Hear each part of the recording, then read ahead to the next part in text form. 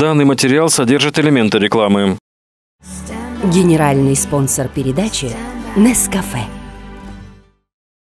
Одежда ведущей предоставлена магазином Орсей. Доброе утро! Настало время солнцу вставать и нам засиять. Здравствуйте, наши дорогие горячо любимые. Вот практически как солнышко у нас сегодня в желтом обличии, то ли как э, вылупившийся цыпленок, Да, я то ли птенец. как солнышко молдавского телеэфира. Да, Таис Разумовская. И Дмитрий Спиваков. Ну что, желток, белок, все по правилам. Жизнь, вот Ты она понимаешь, во что мы зарождается. объединились с тобой, Да. да? Ты понимаешь? Ради того, чтобы Не- жизнь. Не будем проводить параллели.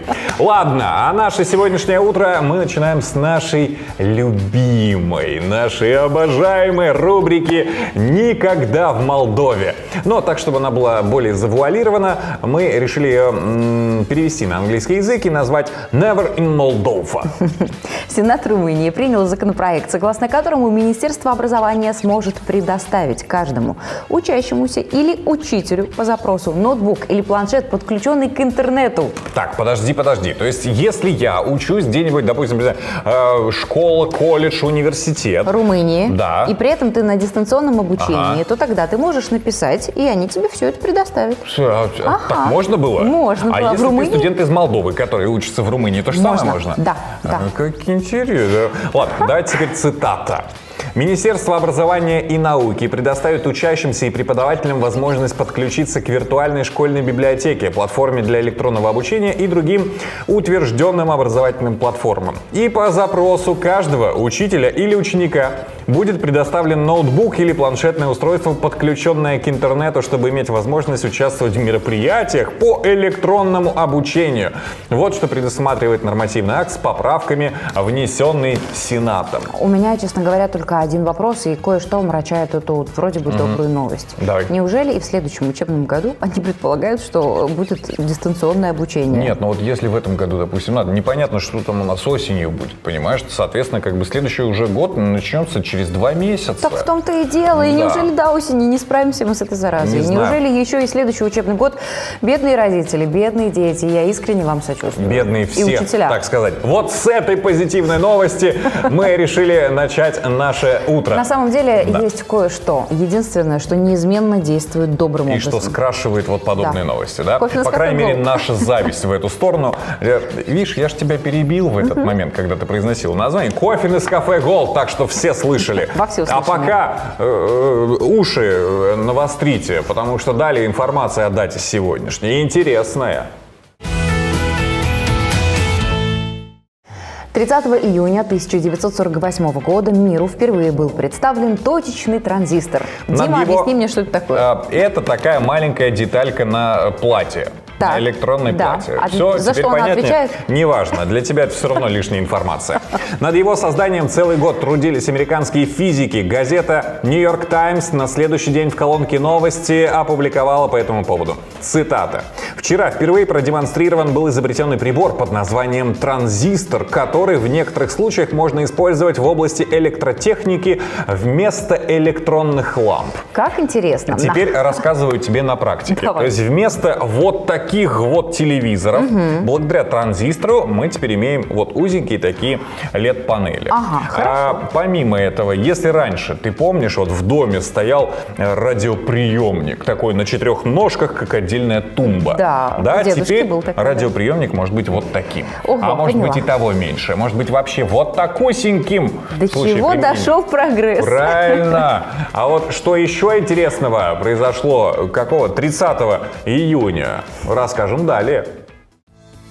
30 июня 1894 года был открыт самый знаменитый лондонский мост Тауэр-Бридж. Конструкция моста очень интересная, он одновременно и разводной, и висячий. Когда нижний центральный пролет разводится для прохода судов, верхняя галерея, на которую ведут лестницы в обеих башнях, остается открытой для пешеходов. В нормальном режиме по нему едет нескончаемый поток машин. За более чем 100 лет существования Тауэр-Бридж стал визитной карточкой Лондона. С его башни открывается прекрасный вид на город.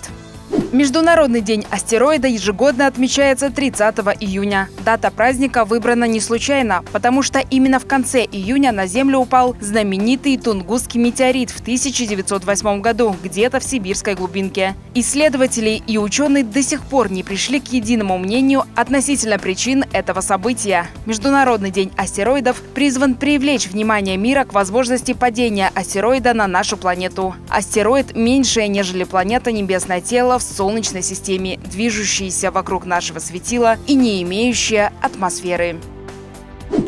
30 июня – день рождения Майка Тайсона, американского боксера-тяжеловеса. Он завоевал титул чемпиона в своем весе по версии Всемирного совета бокса в 1986 году, когда победил Тревора Бербика и стал самым молодым чемпионом мира в тяжелом весе. Тогда ему было 20 лет и 144 дня. А спустя несколько месяцев он победил Джеймса Смита по кличке Костолом в борьбе за звание чемпиона по версии Всемирной ассоциации бокса. И, наконец, в 1987 году, победив Тони Такера, он получил титул чемпиона по версии Международной федерации бокса.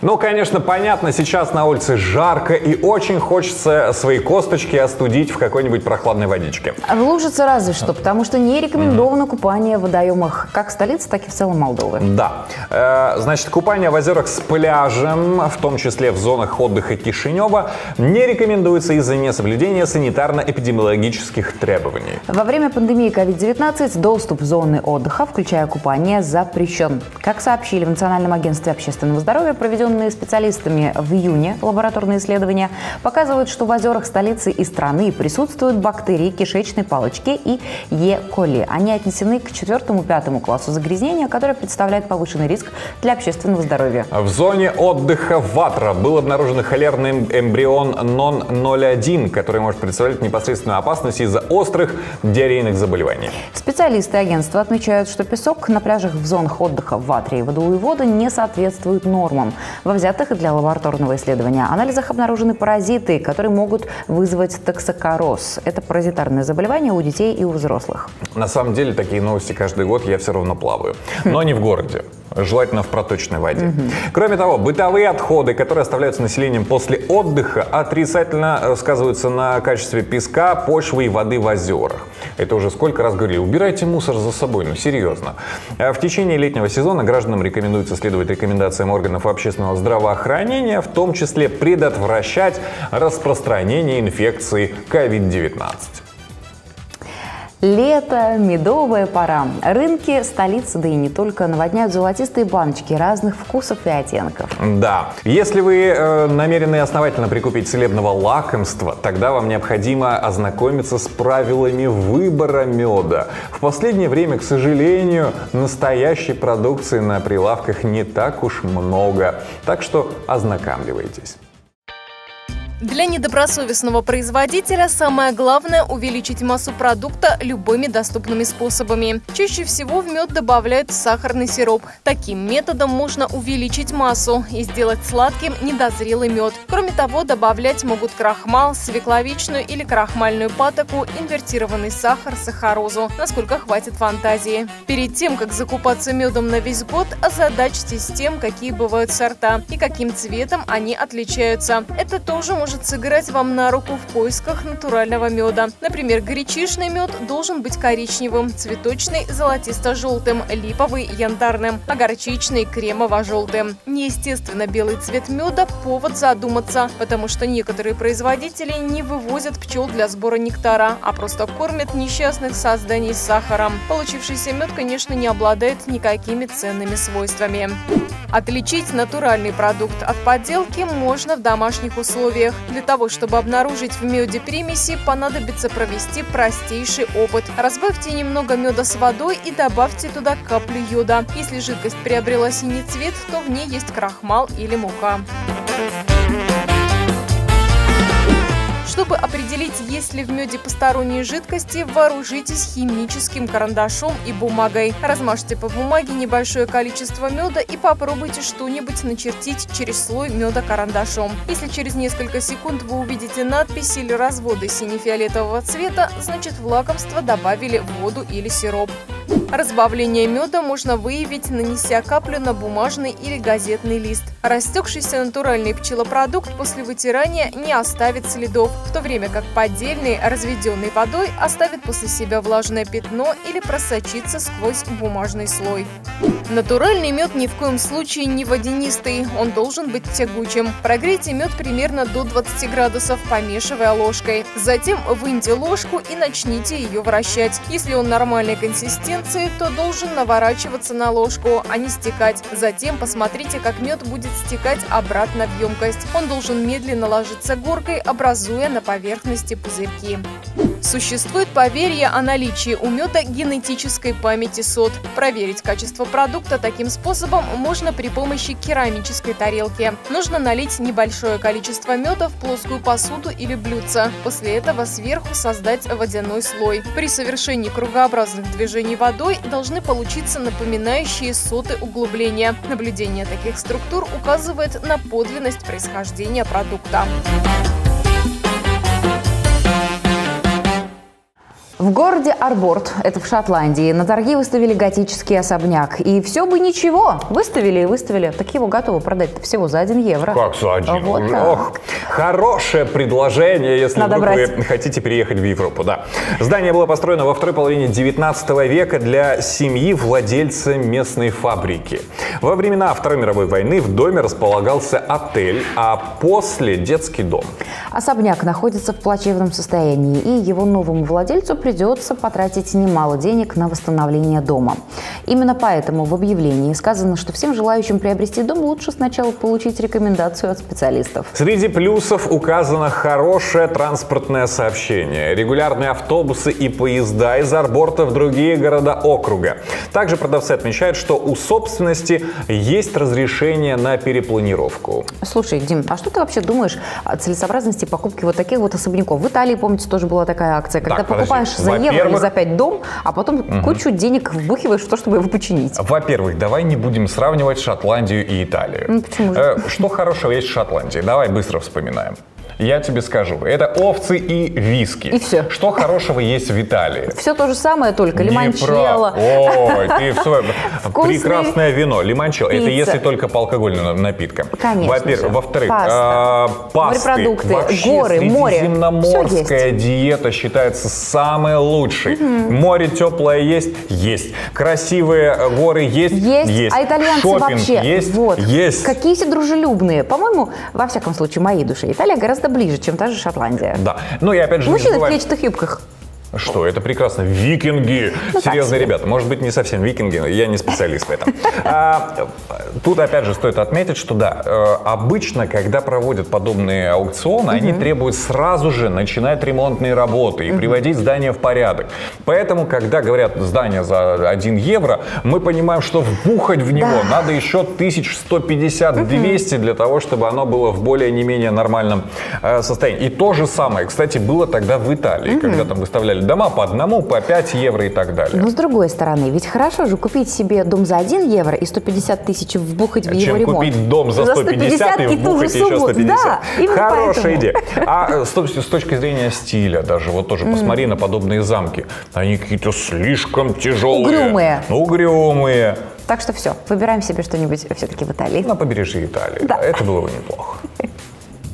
Каждый из нас мечтает э, по этой жизни топать по уверенным таким направленным вверх ступенечкам. Каждая ступенька, шаг за шагом, только вперед. Ой. Но в этом году как-то уж так получилось. У многих это, м, эм, эти ступенечки превратились в вертикаль вниз. Да, ну Да. или, знаешь, просто остались посидеть на смотровой площадке, понаблюдать за тем, как лестница куда-то ведет, но уже без людей. В общем, для того, чтобы ваша вертикаль всегда шла по направлению вверх, время от времени необходимо остановиться и переосмыслить происходящее. Да. Видимо, для этого нам, кстати, и дана подобная пауза.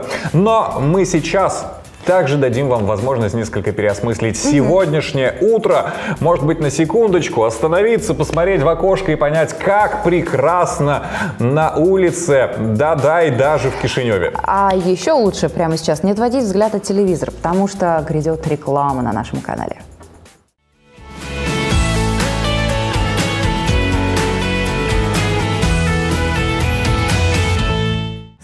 Генеральный спонсор передачи Нескафе.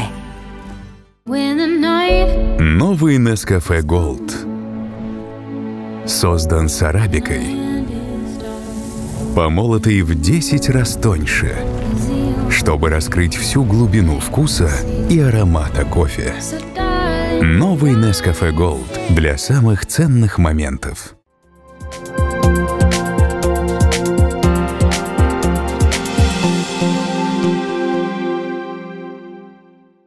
Данный материал содержит элементы рекламы. Генеральный спонсор передачи Нескафе. Итак, новость, которая сегодня удивила меня, пожалуй, больше всего. Все мы знаем, что такое влажные салфетки. Да? А вроде какая-то э, мокрая бумажка. Бумажка, пропитанная да. чем-то, каким-то средством антибактериальным. Вот. Так вот, оказывается, значительная часть микропластика, попадающего через сточные воды в мировой океан, является продуктом распада гигиенических салфеток и других средств личной гигиены. К такому выводу пришли ученые из Ирландии. Ученые также выяснили, что почти половина салфеток, продающихся в аптеках и супермаркетах с маркировкой «биоразлагаемые», таковыми не являются. При попадании их в сточные воды ткань распадается и служит источником микропластикового загрязнения. Это тот самый случай, когда он вам не Димон. И угу. видите, это, это вам салфетки, не биоразлагаемые. Да, оказывается, не бумажки. Угу. Эм, в общем, очистительные сооружения как заявляется, не способны задерживать эти микрочастицы, которые затем оказываются в наших морях. Это прокомментировал руководитель исследовательской группы Лиам Моррисон. Салфетки, в состав которых входит пластик, должны проходить специальную утилизацию. В условиях эпидемии коронавирусной инфекции использование средств личной гигиены, прежде всего влажных дезинфицирующих салфеток, значительно возросло. Однако, как мы убедились, сертификация этих изделий мало соответствует экологическим требованиям, продолжим Моррисон. Да, он также отметил, что зачастую многие потребители ведут себя безответственно, спуская в канализацию использованные салфетки, те самые, которые мы, как уже говорили, считали бумажными. По данным ООН, в мире ежедневно производится около 300 миллионов тонн пластикового мусора, 8 миллионов тонн из этого объема попадает в мировой океан, измельчается и превращается в микропластик. Ходе многочисленных исследований последних лет полусинтетические целлюлозные волокна, используемые в технической промышленности, обнаруживались даже в мышечной ткани. Помимо этого, в желудках подавляющего большинства рыб и морских животных. Частицы размером 150 микрометров и более, попадая затем в организм человека, не растворяются, а наночастицы всасываются в кровь. Влияние их на здоровье человека пока мало изучено, однако у ученых существуют опасения, что пластик может служить служить переносчиком опасных токсинов, которые накапливаются в организме. В Национальной библиотеке открылась выставка картин под э, романтическим названием «Дождь из лепестков». Авторы работ Виталий и Антонина Грищук. В экспозицию вошли около 30 работ, выполненных в разные техники. Там и холст, и масло, и акварель, и тушь, и гравюра. На полотнах запечатлены сельские мотивы и архитектура старого Кишинева. Название выставки «Лепестковый дождь» родилось не случайно. Цветущая Молдова весной, приятные ароматы, распускающиеся бутоны нарциссов, пионов, тюльпанов, пробуждающиеся после зимы деревья вишен, черешин, акации – все это затронуло струны души художников. Мне кажется, что это очень характерно для нашей страны. И, потому что лепестки у нас не только весной бывают, они все лето, все время у нас цветут цветы на полях, и дома люди себе э, в селе делают, устраивают красивые там огороды, и все эти лепестки постоянно разных цветов. Я не имею в виду только вишню или там э, абрикос или что-то другое. Вообще имею в виду нашу страну, цветущую страну. Помимо разноцветных клумб, в экспозицию вошли пейзажи старого Кишинева. Это центральные части города и малоизвестные улочки, от которых веет теплом и красотой, которые пахнут чем-то родным и дорогим. Техника этих полотен разнообразна. Графика, тушь, перо, гравюра на бумаге. Есть и серия работ в акварели, техники, доказывающей высокопрофессионализм художника. Дело в том, что акварель не дает права на ошибку. Если что-то пошло не так, и мастер начинает исправлять недочет гуашью или акрилом, техника уже получается смешанной. Все меняется в мире, есть и варианты, где пользуются белым цветом, даже в наборах акварельных продается белый цвет. Это красиво, это нормально, но я всегда придерживаюсь э, такой техники старой школы, которую я изучал. У меня в акварели нет белого цвета как пигмент. У меня белый цвет – это бумага. То есть я оставляю бумагу, таким образом играю с бумагой, что я иду от белого цвета к темному, Сельские мотивы – еще одна часть выставки. Антонина и Виталий очень любят деревенскую жизнь такой, какая она есть. Проселочная дорога, играющие дети, домашние животные и четырехколесный транспорт, но не автомобильный, а гужевой. Сказочная страна с особым очарованием света и цвета, с живописными пейзажами, реками, лесами вдохновляет художников. Их желание, чтобы картины вызывали восхищение у каждого зрителя. Творчество сегодняшних э, художников, оно очень близкое и к простому народу, э, оно близкое и к э, людям искусства. Она понятная. Помимо того, что она красивая, помимо того, что она яркая и красочная, и очень эмоциональная, в ней я видела часть нашего культурного наследия старого Кишинева.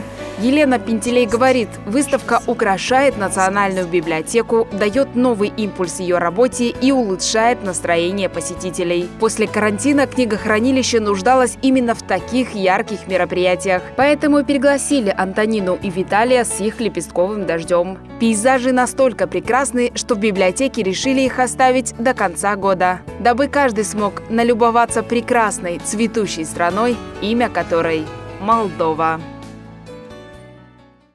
Не оставляет равнодушным нас вопрос голосовых сообщений. Угу. Вечная тема войны в комментариях. Ой, не говори. Кто-то говорит, да сколько можно? Человечество угу. давно придумало буквы. Неужели сложно написать? А как раз-таки угу. голосом говорит гораздо быстрее, чем буквы. Зато сейчас получи, э, появились же новые угу. расшифровщики таких вот голосовых сообщений. Вот вы надиктовываете, а они текстовым вариантом присылают. Удобно. Да, возвращаясь к спору. Смотри, на самом деле, сколько бывает ситуаций, когда за рулем тебе неудобно читать вот. это сообщение. Возьми просто прослушан и читай такое же обратно. Да. Удобно. Удобно. Удобно. Но нет, сидят и спорят вот эти вот любители архаического всего.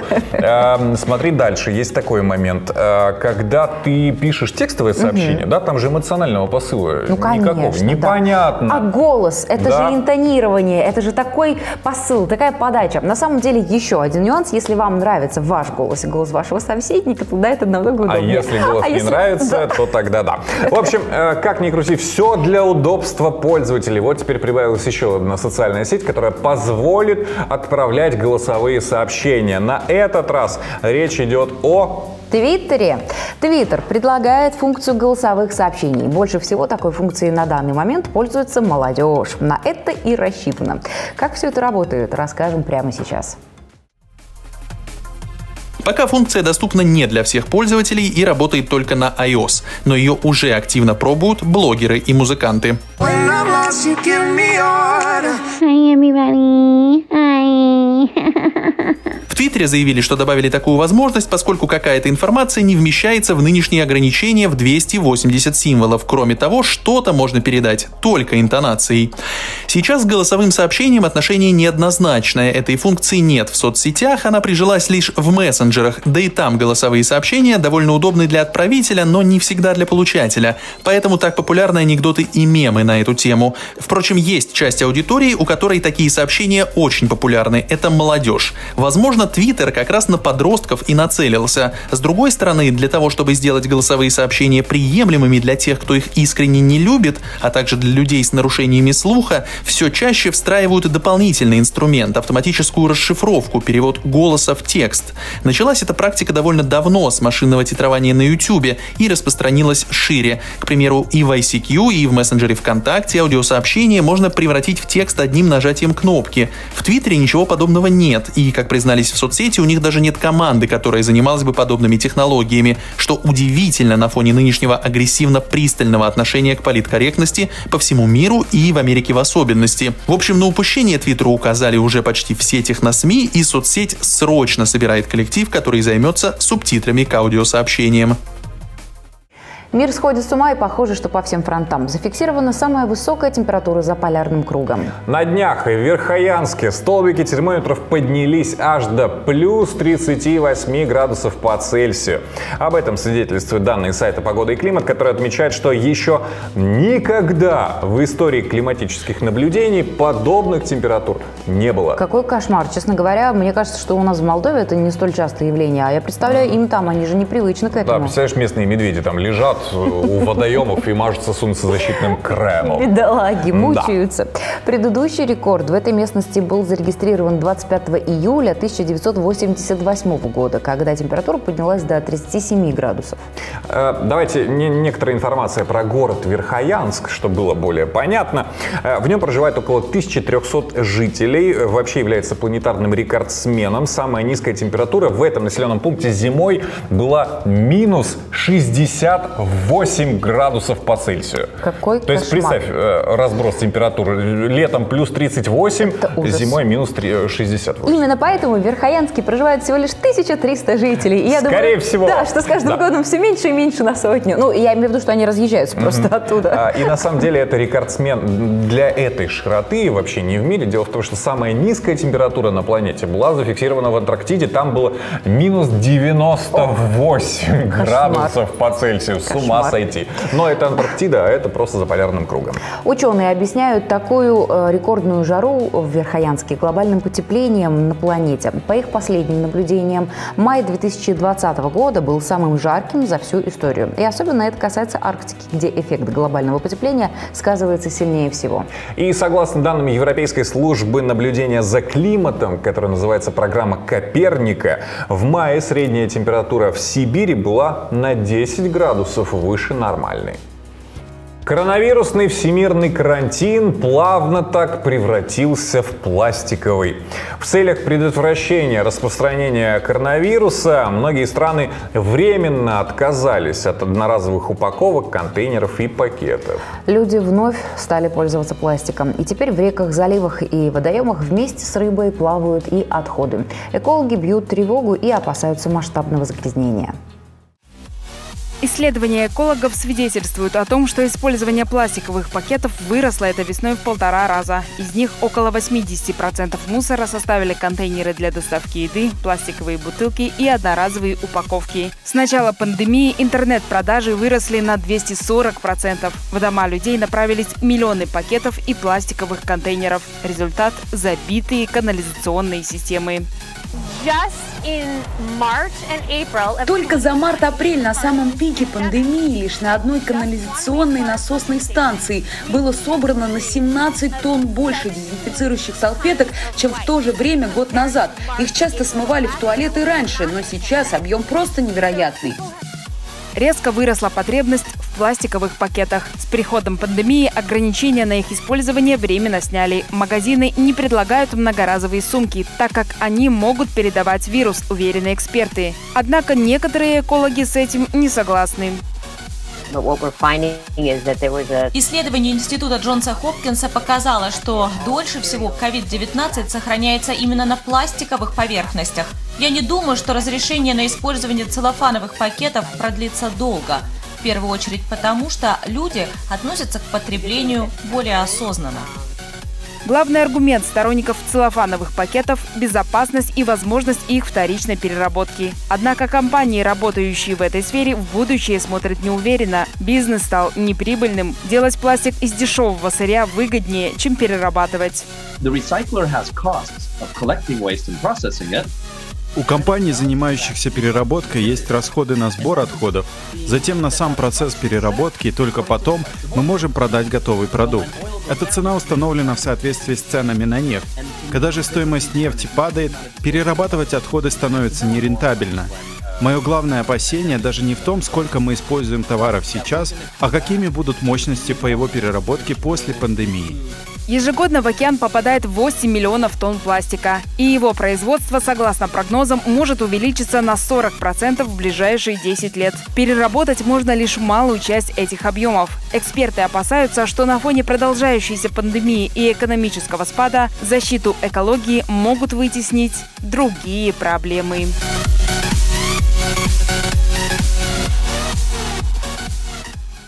Мне вот интересно, это только в школах постсоветского пространства существуют параллели в школах, вот в классах? Потому что когда, допустим, иностранец читает э, или слышит переписки э, людей о том, где они учились, вот угу. ты где учился, в каком классе? В А?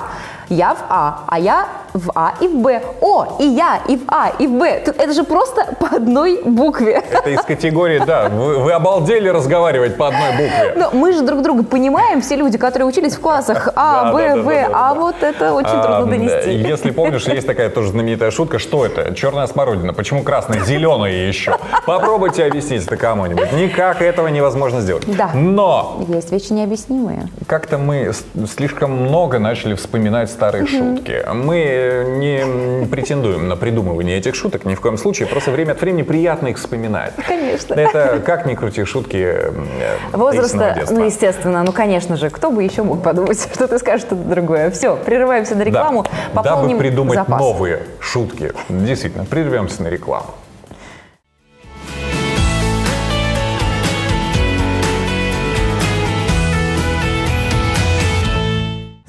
Генеральный спонсор передачи Nescafe.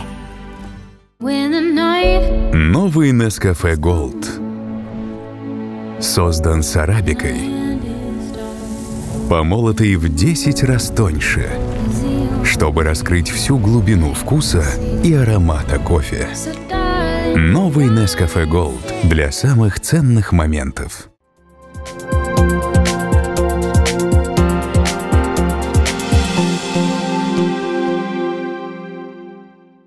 Данный материал содержит элементы рекламы. Какая женщина не мечтает о стройной талии и о плоском животе? Какая женщина со стройной талией и плоским животом? Да. А, что, лето ну пришло? Все, а кость все еще широкая. На самом деле не успели мы похудеть к лету, большинство из нас так Ну так подготовительного сезона-то не было практически. Весна была очень так себе. Да, такая да, да. нажористая, так В общем, как ни крути, как же сделать талию, вообще свою фигуру угу. близкой к идеалу? Узнаем, как достичь правильного эффекта быстро и эффективно.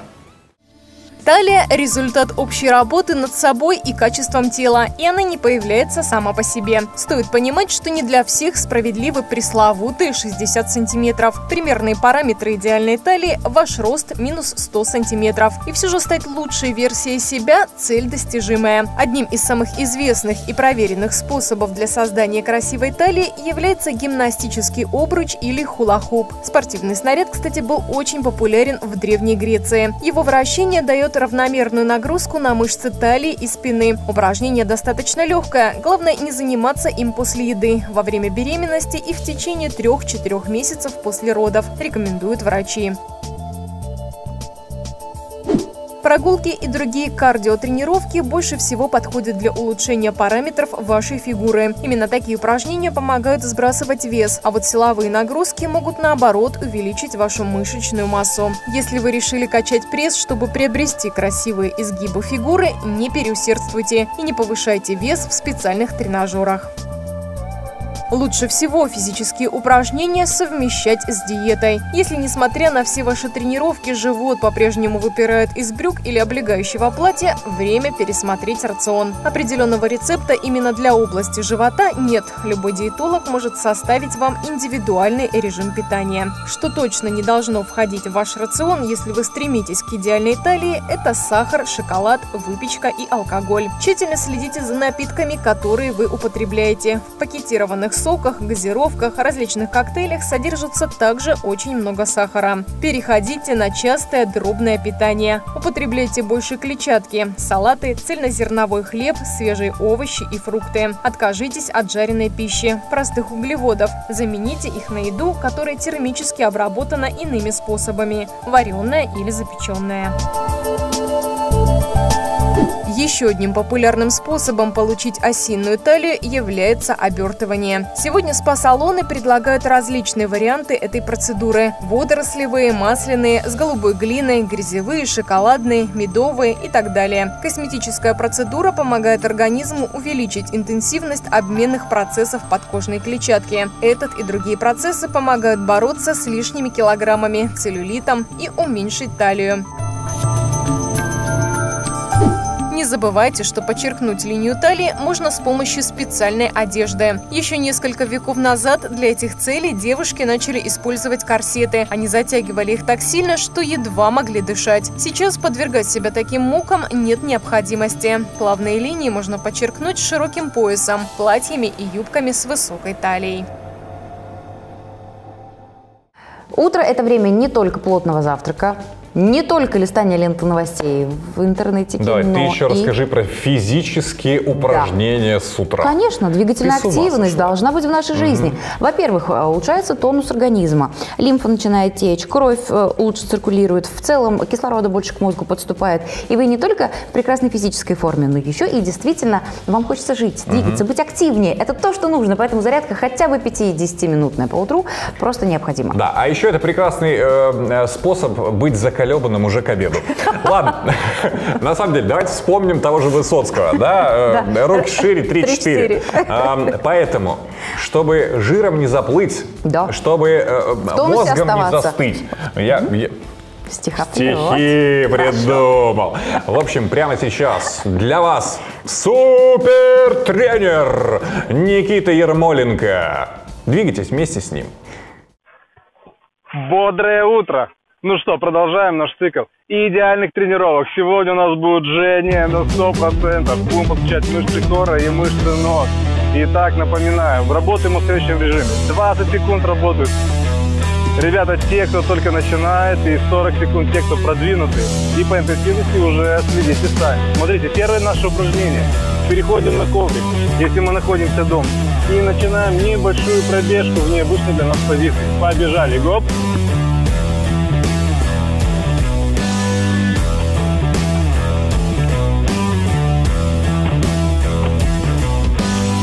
Немножко меняем нашу пробежку. В сторону, в сторону, в сторону.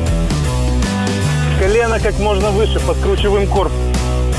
Следим за нашим дыханием. Это наше второе упражнение.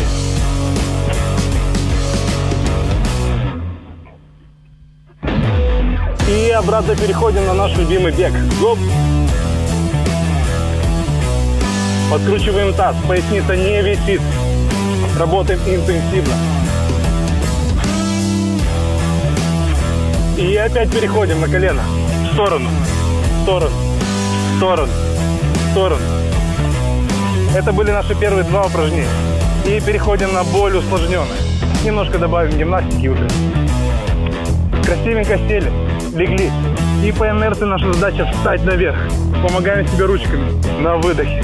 Руками отталкиваемся. Встали. И закрутились. Встали. И закрутились. Встали. И закрутились. Встали. И для усложнения сделаем следующий момент. Сделаем небольшой прыжок наверх. И закрутились, встали, вверх. Закрутились, встали, вверх. Закрутились, встали, вверх. Ух, это тяжелое упражнение. Перейдем на следующее упражнение. Четвертое наше упражнение. Это бёрпи. Бёрпи груди не будем касаться пола. Работаем только с рук. Руки поставили пошире. И работаем. Сели, встали. Выбираем себе ритм, в который нам удобно будет работать. Корпус не проваливает. Итак, это упражнение нам раз- развивает Очень хорошо силовую выносливость. Видите, даже у меня дыхание сбилось. Ух. А только утро. Повторите таких четыре цикла, и ваш день будет насыщенный и полон. Доброе утро. Пока-пока. В немецком городе Швайнфурт пришлось эвакуировать из почтового отделения 60 работников. А причина этому была в том, что на эту почту, на это почтовое отделение пришла посылка, в которой были дурианы.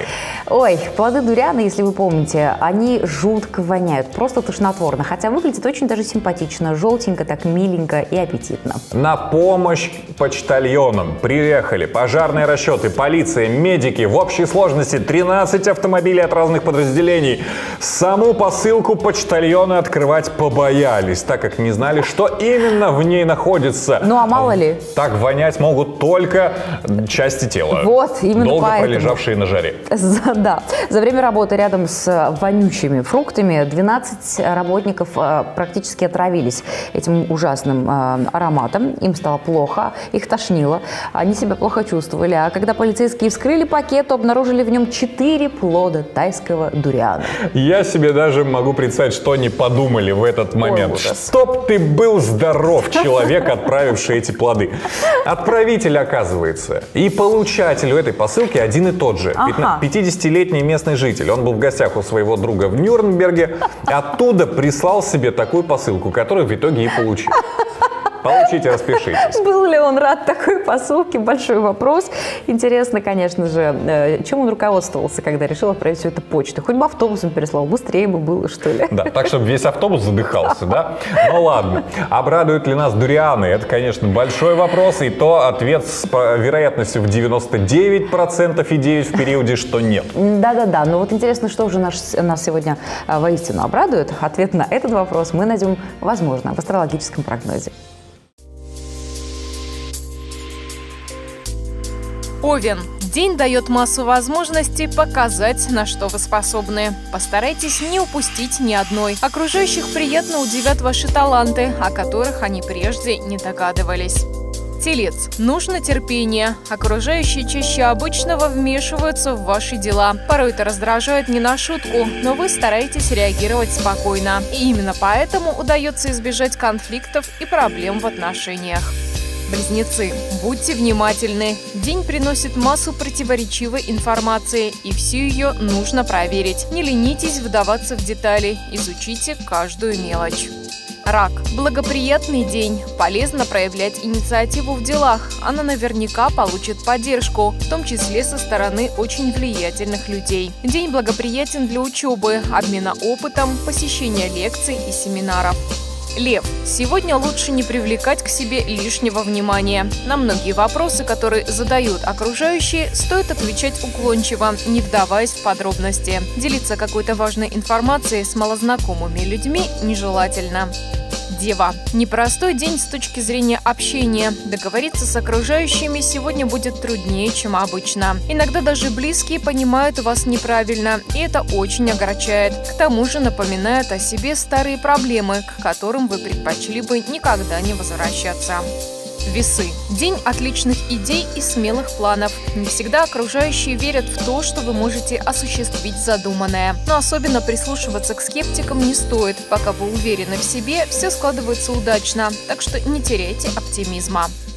Скорпион. День подходит для общения с людьми, которые были вам дороги. Вы можете спокойно поговорить о том, что важно для всех, помириться с теми, с кем были в ссоре. Не исключена случайная встреча с человеком, о котором вы в последнее время часто вспоминали.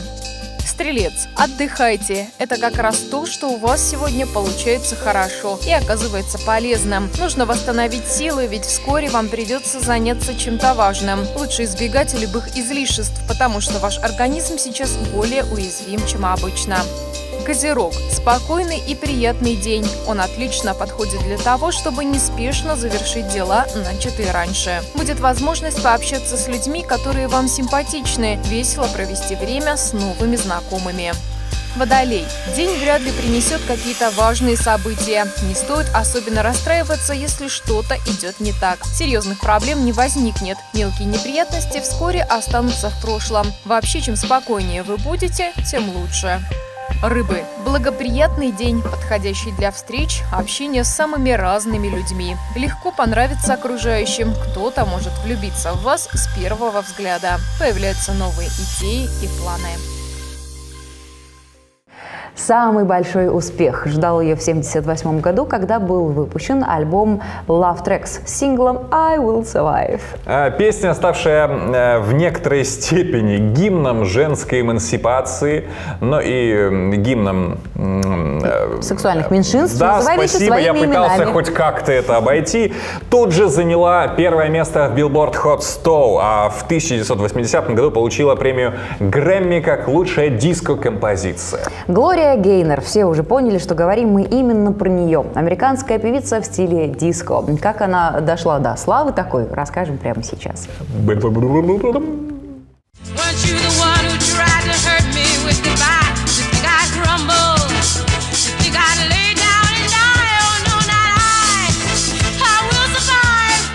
Только не перепевал эту песню. Гимн женской силе и стойкости. Простой танцевальный ритм и мудрый вдохновляющий текст. Что бы ни случилось, я выживу и найду силы жить дальше. Глория Гейнер, диско-королева, которая подарила миру эту песню, недаром получила за нее Грэмми.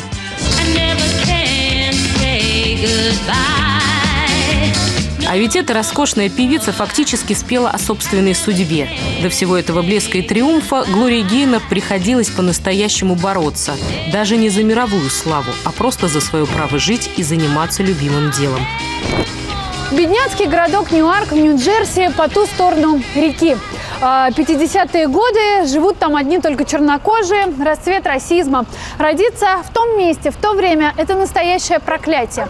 Но Глория была уверена, у нее счастливое детство. Да, многодетная семья, да, грязная комнатушка в муниципальном жилье, но там царили любовь и музыка. И даже когда в доме было нечего есть, по вечерам все равно устраивали танцы.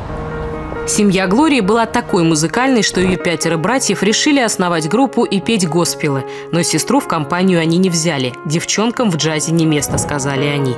А ведь Глория тоже мечтала петь. Звонкий голос и горячее сердце были ее главным богатством и сокровищем.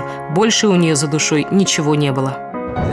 И папа и братья мягко намекали, профессиональный вокал – это все-таки не женское занятие.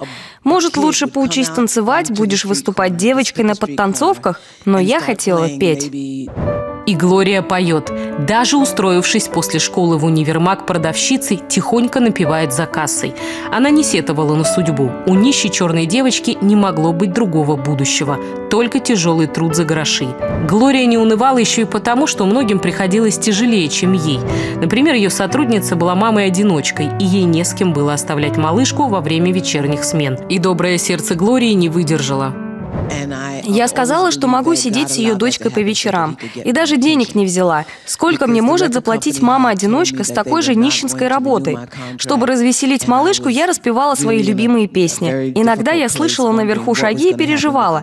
Если я их слышу, значит и они слышат, как я пою. Вдруг они нажалуются, что я слишком громкая. Однажды вечером недаром все сказки начинаются с этого слова. Вот и для Глории тот вечер стал началом настоящей сказки. В ночной джазовый клуб ее позвал брат. Я одолжила у подруги красивое платье. Мы сели за столик перед сценой, где играла группа, и случилось невероятное. На сцену вышел владелец клуба и сказал, «Леди и джентльмены, нас почтила своим присутствием одна юная леди с потрясающим голосом. Давайте похлопаем, вдруг она согласится для нас спеть». Глория оглядывается, ей ужасно любопытно, кто же эта счастливая юная леди. И вдруг с ужасом понимает, весь зал смотрит на нее. А хозяин клуба спускается по ступенькам и идет прямо к их столику и протягивает ей руку. Это что, розыгрыш?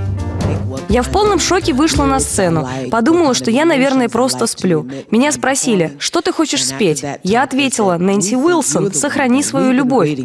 Боже мой, я же впервые в жизни пела на сцене. Я зажмурилась от ужаса, а потом открыла глаза и вижу, весь зал стоит и аплодирует стоя.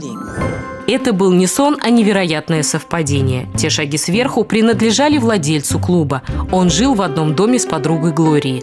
Его так очаровал волшебный голос с нижнего этажа, что он расспросил подругу о том, кто это поет, и пару раз тихо выглядывал в окно, когда Глория уходила, чтобы рассмотреть ее лицо. И в тот вечер, случайно увидев девушку в своем клубе, он узнал ее среди сотен других лиц.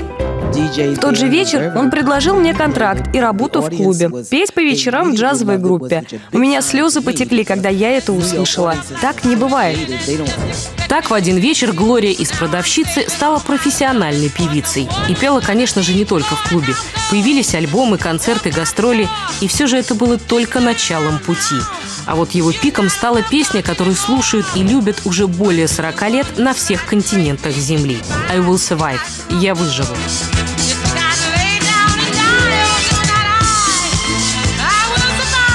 Как и все в жизни Глории Гейнер, эта песня вошла в ее творческую жизнь случайно. Ее предложили продюсеры, чтобы дополнить сторону «Б» на новой пластинке. Прочитав текст, Глория расплакалась. Это же о ней самой. О том, что как бы не было больно, ты справишься, ты выстоишь. И после того, как Глория спела эту песню, про нее узнал весь мир – Восторженные отзывы, а главное тысячи писем, в которых люди рассказывали ей, как эта песня помогла им пережить самые трудные моменты жизни. Выстоять, справиться и благодарили, благодарили, благодарили.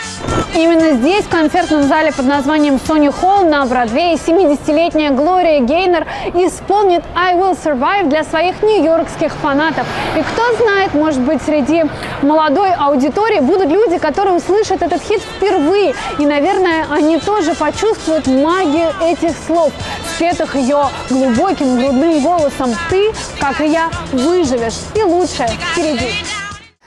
Всего доброго, всего хорошего и наилучшего желаем вам мы этим утром. Правда, правда. Пусть ваш день будет великолепным, как это желтенькое платье. Пусть ваше утро закончится так же быстро и неожиданно, как э, Так же неожиданно, как комплимент от Дмитрия Спивакова. Вот, именно поэтому. Ладно, на этом действительно прощаемся. С вами этот день начинали Таис Разумовская. Меня-то уже, меня-то уже обозначила. И, конечно же, кофе на кафе Гол. Все, до завтра. Хорошего сегодня в продолжении. До Пока. встречи. Пока. Данный материал содержит элементы рекламы. Одежда ведущей предоставлена магазином Орсей. Генеральный спонсор передачи Нескафе.